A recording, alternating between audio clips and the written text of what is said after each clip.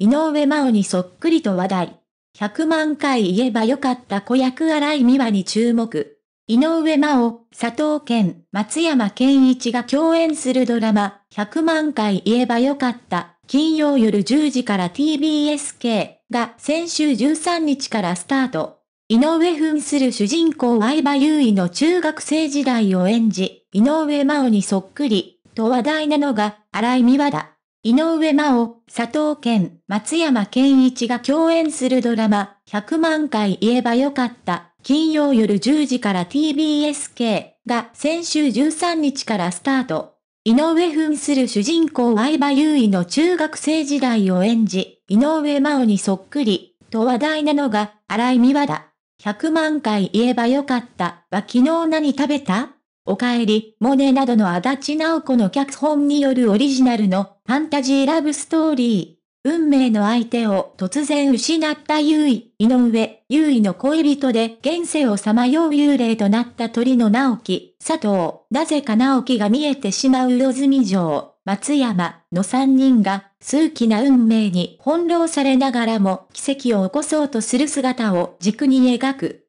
おかえりもね、などの足立直子の脚本によるオリジナルのファンタジーラブストーリー。運命の相手を突然失った優衣、井上、優衣の恋人で現世をさまよう幽霊となった鳥の直樹、佐藤、なぜか直樹が見えてしまう魚住城、松山の三人が数奇な運命に翻弄されながらも奇跡を起こそうとする姿を軸に描く。20年ぶりの再会をきっかけに恋人同士となった優衣と直樹は、14歳の頃に里親施設で共に暮らした幼馴染。二人の出会いや歩みを知る上で重要な中学生時代の優衣を荒井が演じている。見た目だけでなく、話し方や表情、仕草など、どれをとっても井上演じる大人の優衣を彷彿させることから、完璧な子役、井上真央に劇時と SNS などで話題になった。新井は2006年9月17日生まれ、東京都出身の16歳。